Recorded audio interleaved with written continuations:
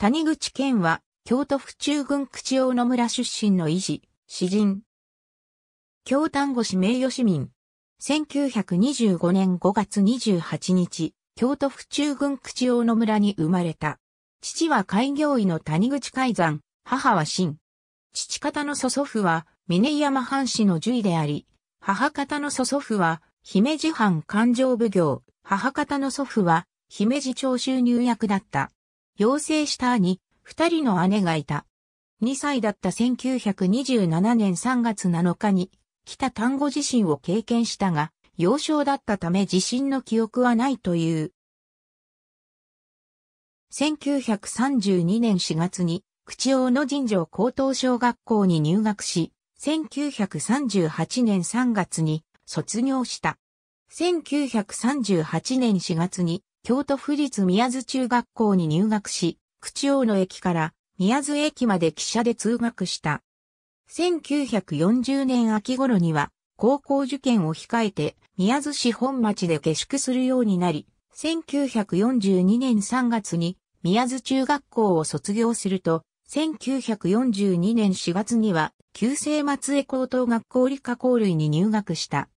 1944年には徴兵検査で第一乙種合格となり、同年には福岡県文字市の軍事工場に学徒動員されたが、病気のために帰郷した。同年10月には京都帝国大学医学部に入学した。大阪城の第4師団司令部で陸軍軍医託成試験を受けたが、不合格だった。1947年9月6日には、父の海山が死去した。大学時代には、京都大学学園新聞に随筆を連載し、芥川龍之介、太宰治、坂口安吾などについて論じた。口大野にある谷口委員1948年9月に京都大学医学部を卒業し、10月には国立舞鶴病院で無給のインターン生となった。1950年1月には医師国家試験に合格し、峰山町にある丹後中央病院に嘱託として採用された。11月には丹後中央病院を退職し、12月25日には故郷の口大野で内科小児科医院を開業した。26歳だった1951年4月1日には薄い書房から第一詩集、風神記を刊行し、以後には多数の詩集、エッセイ集を発表している。1951年10月15日には、沖田節子と結婚し、1952年12月20日には、長男の新吉が生まれた。1953年には母校である、京都府立宮津高等学校の校歌を作詞した。1955年7月5日には長女の美紀子が生まれ、1957年7月24日には次女の美玲が生まれた。1960年頃から郷土史に興味を抱くようになり、特に単語時代の良さ武尊に着目した。1977年には母の真が死去した。1980年、母校の宮津高校に校歌碑が建立された。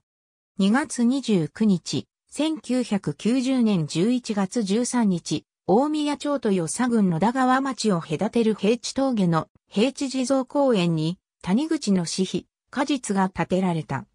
1996年7月1日には京都府警察用委託し、峰山警察署の担当となった。京丹後市発足直前の2004年3月18日には、大宮町名誉町民に推挙され、同年4月1日の京丹後市発足後には、京丹後市名誉市民となった。2009年には、谷口委員を閉院させ、京丹後市から岐阜県に転居した。故郷の京丹後市大宮図書室には、谷口から寄贈された蔵書や市に関する書籍などを集めた谷口県文庫が設置されている。2015年には、京丹後市が谷口からの寄付金をもとにして、修学困難者を支援する、京丹後市、谷口県、未来応援基金を設立した。2017年4月9日には、大野神社社務所が、谷口の功績を称えて、口王の上司会館として整備された。口王の上司会館は、口王の区に移管され、一般開放される生涯学習拠点に生まれ変わった。谷口の著書や蔵書宣察庁が谷口文庫として設置されている。大宮図書室にある谷口見文庫。ありがとうございます。